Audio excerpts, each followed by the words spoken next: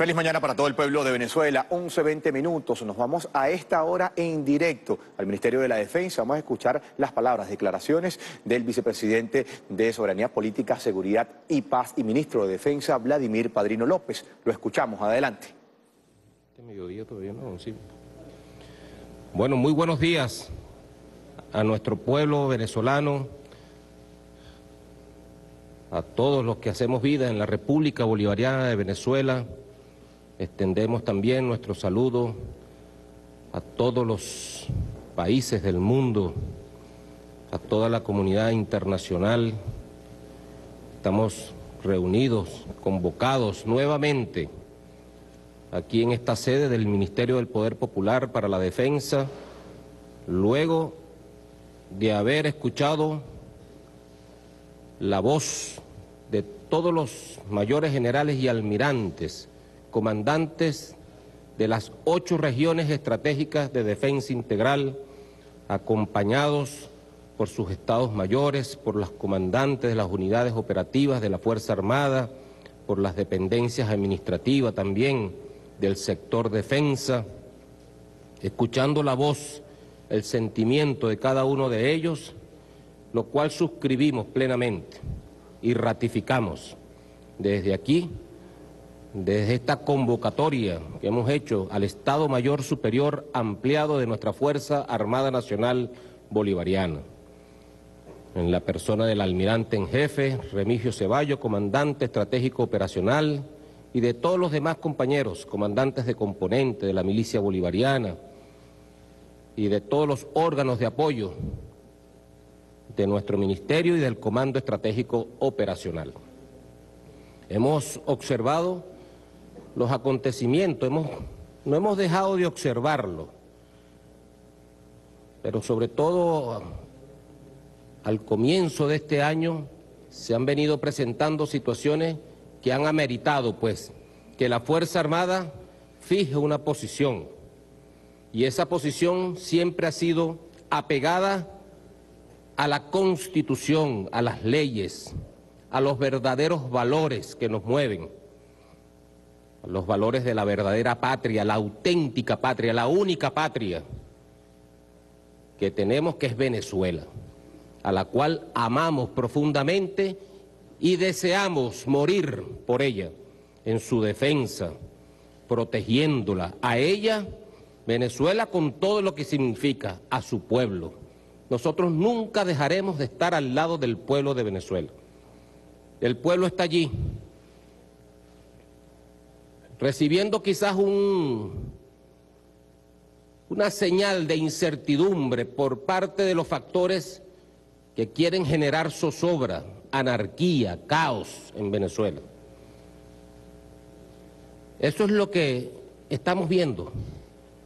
Sectores de la ultraderecha plegados a intereses imperiales tratando de fragmentar, de destruir a Venezuela. Eso lo hemos dicho muchas veces desde esta tribuna tenemos que decirlo nuevamente, pareciera que hubiese un juego de niños, pareciera que hay algunos sectores se han apoderado del infantilismo político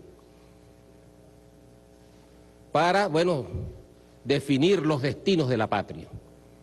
Y nosotros venimos aquí a sentar una posición indefectible, inexorable, que es nuestro apego, nuestro apego a la Venezuela unida, a la Venezuela de las virtudes, de los valores históricos, a los valores de nuestros libertadores y a ese contrato social, a ese vínculo social, en palabras de Rousseau, que nosotros nos hemos dado en un proceso constituyente y que el pueblo aprobó, aprobó en votación directa universal, secreta, aprobó en referéndum para llevar los destinos de Venezuela, políticos, sociales, económicos. A esa constitución nosotros estamos aferrados, aferrados. Y por eso nos llama la atención que ayer, rememorando un evento que causó desasosiego, desesperanza, cuando el pueblo de Venezuela en el año 2002 cayó en estado de indefensión porque desaparecieron todos los poderes públicos, secuestraron a un presidente,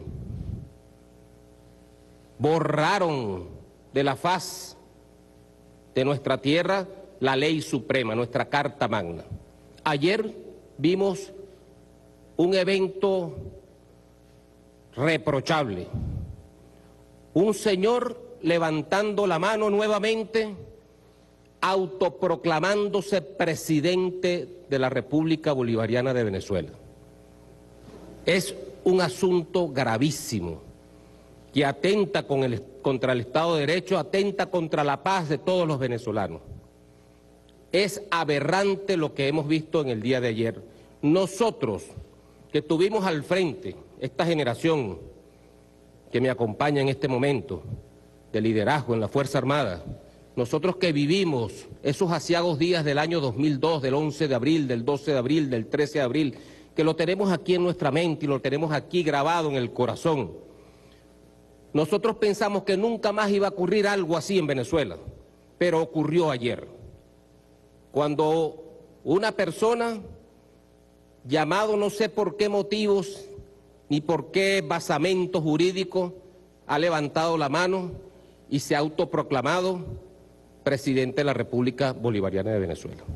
Pareciera risible pareciera jocoso, dan ganas a veces de reír, pero tengo que alertar al pueblo de Venezuela de la alta peligrosidad que esto reviste, que esto significa para nuestra integridad, para nuestra independencia y para nuestra soberanía nacional. Es sumamente peligroso lo que acaba de ocurrir el día de ayer, 23 de enero de 2019. Y definitivamente nosotros tenemos, y gracias a Dios, tenemos una constitución, una constitución que nos obliga a nosotros como individuos a ponernos en el común, en el colectivo, en el colectivo, en el vínculo social, ese es al que me refería inicialmente.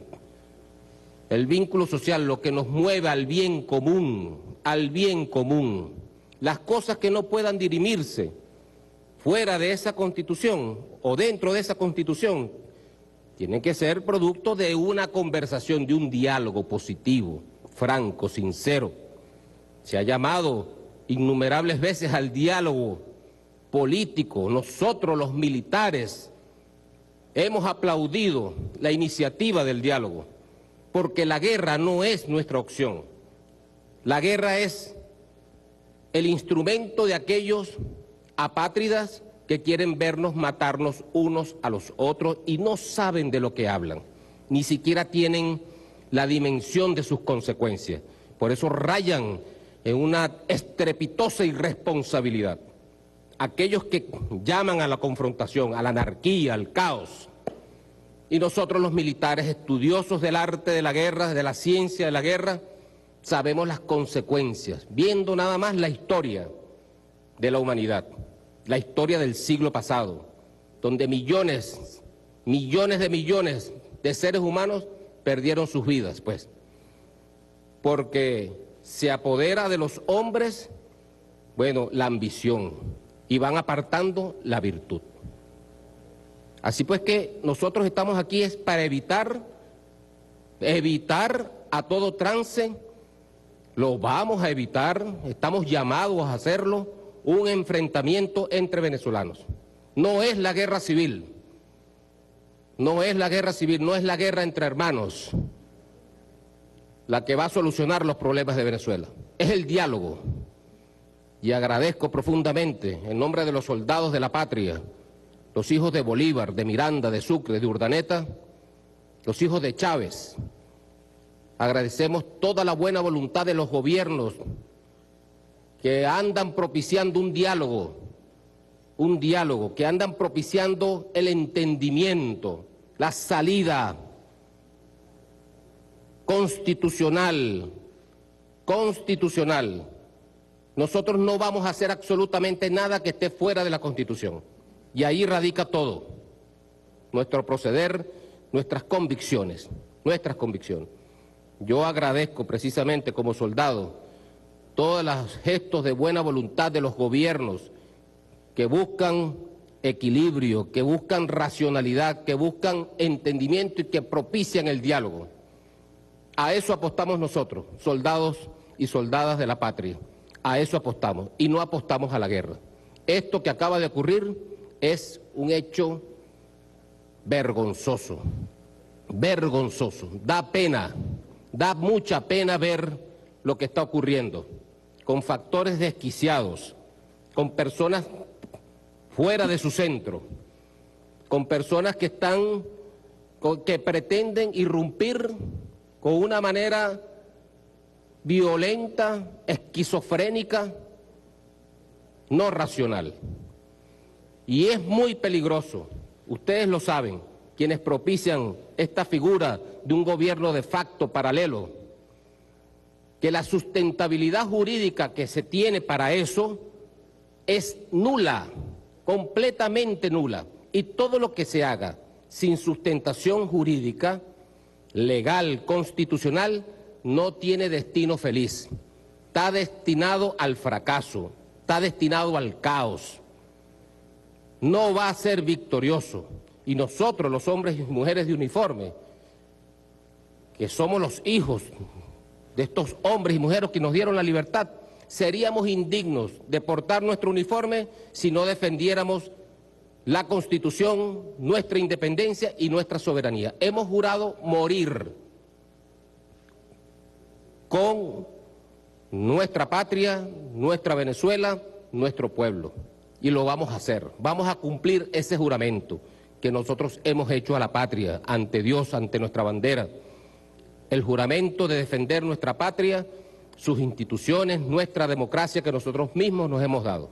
Así pues que, después de escuchar, después de escuchar a todos los comandantes de regiones estratégicas de defensa integral y después de haber nosotros deliberado también de todo lo que ocurrió desde muy temprano, de todo lo que ocurrió en el día de ayer, muy peligroso, repito, alerto al pueblo de Venezuela, muy peligroso para nuestra integridad, para nuestra paz social, bueno, alerto al pueblo de Venezuela que se está llevando un golpe de Estado contra la institucionalidad, contra nuestra democracia, contra nuestro, nuestra constitución, contra el presidente Nicolás Maduro, presidente legítimo de la República Bolivariana de Venezuela. Yo voy a leer un comunicado de la Fuerza Armada Nacional Bolivariana que recoge el sentimiento de todos los hombres y mujeres de nuestra institución.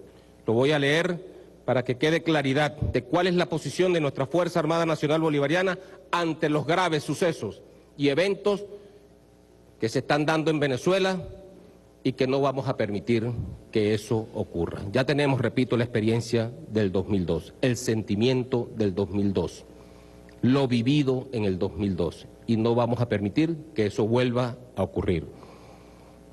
Leo. Desde hace largo tiempo se viene fraguando un vulgar golpe de Estado contra el gobierno legítimamente constituido de la República Bolivariana de Venezuela por parte de sectores de ultraderecha, auspiciados descaradamente por agentes imperiales.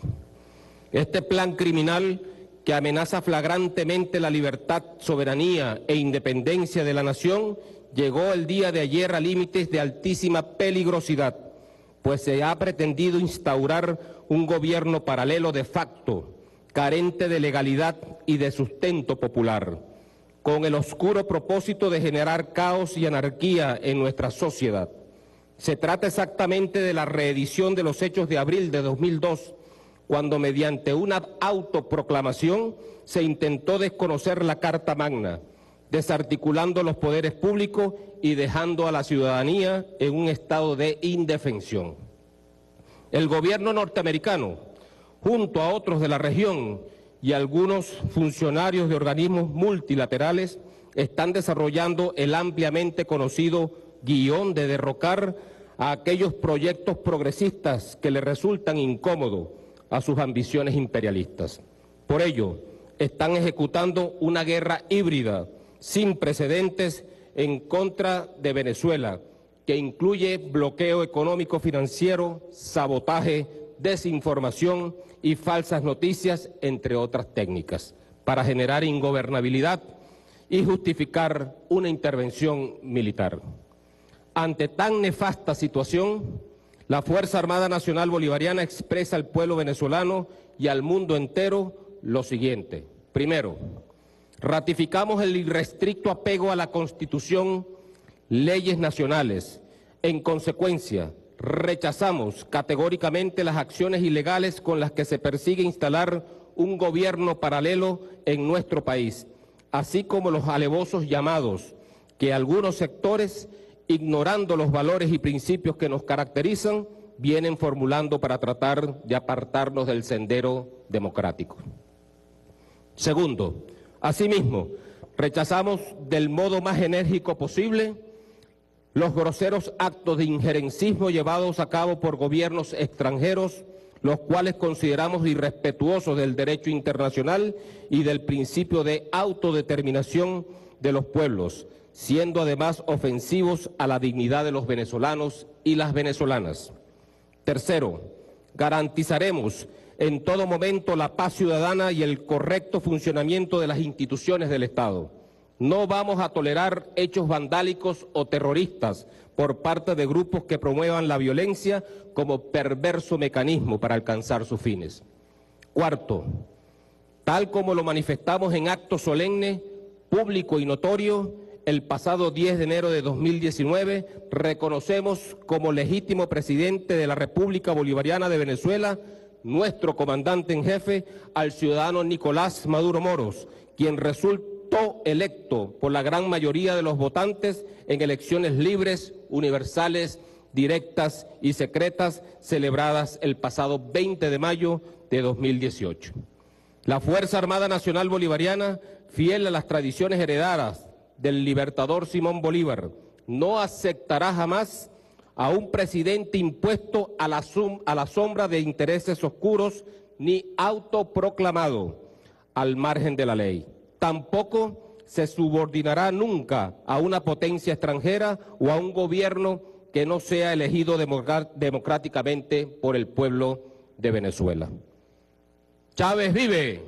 La patria sigue. Independencia y patria socialista. Viviremos y venceremos. El sol de Venezuela nace en el Esequibo. Nace en el Esequibo. Nosotros venceremos. Muy buenas tardes a todo el pueblo de Venezuela. Muchísimas gracias.